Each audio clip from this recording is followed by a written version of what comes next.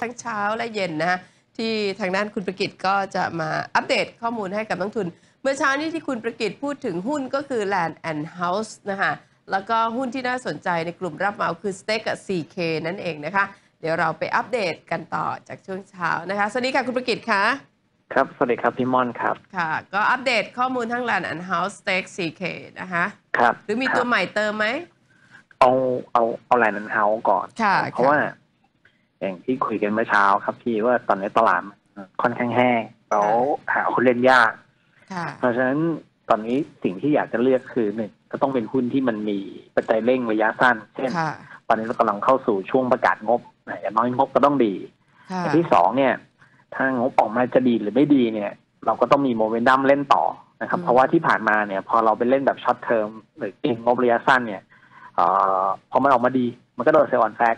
พอมันออกมาน่าผิดหวัง มันก็โดน sell อยู่ดีเพราะฉะนั้นถ้ามันเป็นหุ้นที่งบระยะสั้นดี แล้วในระยะถัดๆไปแล้วผลประกอบการมันมีแนวโน้มดีขึ้นเนี่ยหุ้นมันน่าจะทรงตัวแล้วก็ปรับเพิ่มขึ้นได้ค่ะนะครับเราก็ไปหาหุ้นที่มีคุณสมบัติอย่างที่พูดตะกี้นะครับ ก็ตอนนี้ survey ทั้งตลาดแล้วเนี่ยมันก็เจอ LH หรือ d y n a n House นะครับค่ะคือหนึ่งอย่างแรกข้อดีก็คือราคาที่ผ่านมายังไม่ได้ปรับเพิ่มขึ้นอะไรมาก นิ่งมาตลอด อย่างที่สองก็คืองบไตรมาสหนึ่งน่าจะขยายตัวโดดเด่น เพราะเขามีการโอนตัวคอนโดสามสามรีเวอร์ไซด์นะครับค่ะก็น่าจะทำให้ผลประกอบการในงวดไตรมาสหนึ่งเนี่ยโดดเด่นกว่า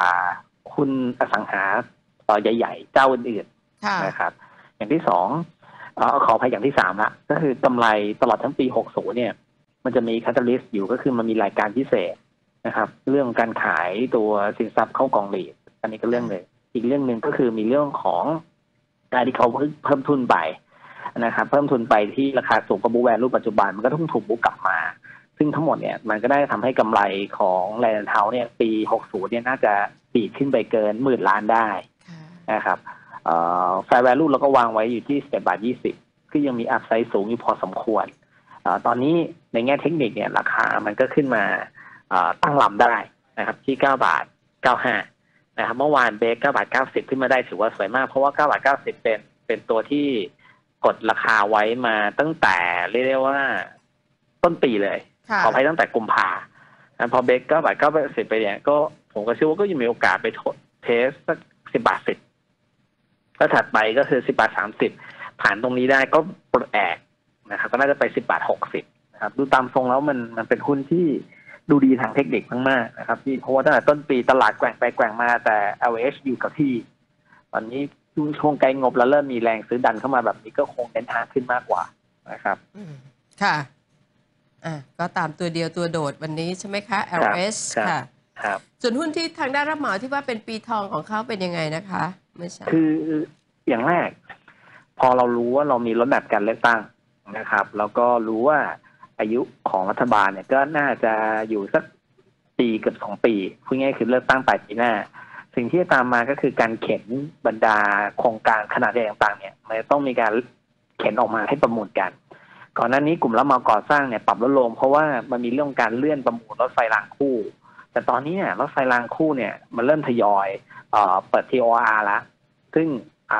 สายแรกที่เปิดไปเมื่อกี้เมื่อสัปดาห์ที่แล้วก็เป็นเรื่องของตัวอ่อประจวบนะครับ ขออภัยก็คือตัวตัวตัวหัวหินไปประจวบ นะครับ ซึ่งแม้ระยะทางจะสั้น แต่อย่างน้อยเนี่ยเอ่อรักษาการรฟทเนี่ยก็ออกมาบอกว่านับจากนี้เนี่ยจะทยอยเปิด TOR ให้ครบ 5 เส้น ภายในระยะเวลาหนึ่งเดือนข้างหน้านะครับอืมนี่ก็เป็น factor บวก หลังจากนี้ก็จะได้เห็นการเปิดประมูลทั้งมอเตอร์เวย์นะครับ ทั้งรถไฟฟ้าสายสีอื่น ๆ ที่ยังเหลืออยู่ ซึ่งก็น่าจะเป็นเอ่อเรียกว่าปัจจัยขับเคลื่อนของกลุ่มรับเหมา ซึ่งเราก็เล็งอยู่ที่ตัว STEC กับ CK แต่ถ้าโดดเด่นจริงๆแล้วผมจะเอา STEC ปีนี้เนี่ยกำไรของ STEC ถ้าในแง่ของกำไรจะดำเนินงานปกตินะครับ น่าจะเติบโตประมาณเกือบเกือบสามสิบเปอร์เซ็นต์ปีหน้าเนี่ยจะเบิ้ลขึ้นไปประมาณหกสิบเปอร์เซ็นต์นะเพราะ backlog ปัจจุบันเขามีอยู่ประมาณเกือบเกือบๆไม่ได้เกือบเกือบๆมี backlog ปัจจุบันมีอยู่ประมาณแสนกว่าล้านได้นะครับพี่แสนค่ะแสนต้นค่ะๆนะครับ ค่ะค่ะคุณปิงค่ะอะได้ค่ะก็ STEC เนาะอะทีนี้ครับคุณคุณปิงครับคะมีคนยังไม่จบกับคุณปิงอยู่เยอะเลยนะ สวัสดีคุณปิงคุณม่อนอะ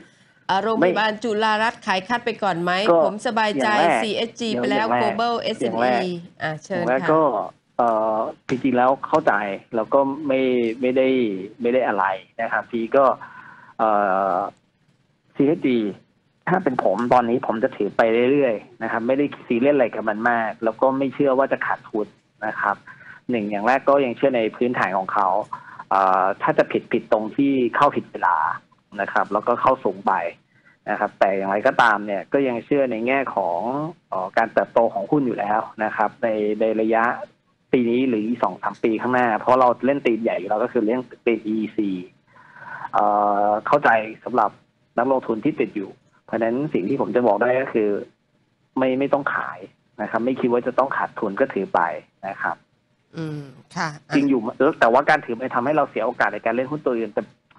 แต่สำหรับตัวนี้ผมไม่อยากจะไปเข้าเข้าออกออกนะครับ ก็ถือแล้วถ้าติดก็ถือถือทนไปก่อนนะครับก็ยังคิดว่าจะมาอยู่นะครับอ่าได้ค่ะ ขอเคลียร์ให้คุณปิงเขานิดหนึ่งนะนักทุนครับพอดีมีนักทุนถามมาเยอะเรื่องราวของหุ้นโรงคือพเข้ายาใจบาลพี่ว่าจะมีนักลงทุนถามมาเยอะใช่เพราะว่าใช่ก็ค่ะก่อนหน้านี้ก็ออกตัวแรงแล้วก็อยากให้ซื้อกันแต่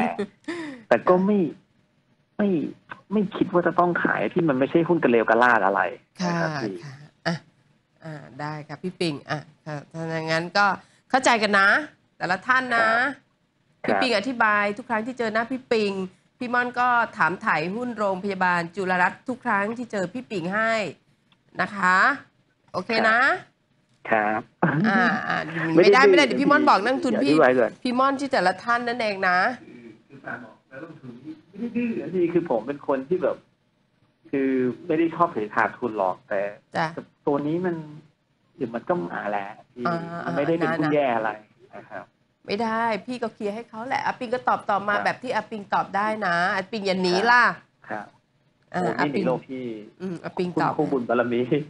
บุญบารมีซื้อไว้ให้โลกโอเค ครับลูกไปทำมาซะ ขอบคุณมากนะคะ ครับครับ ค่ะค่ะ ก็เป็น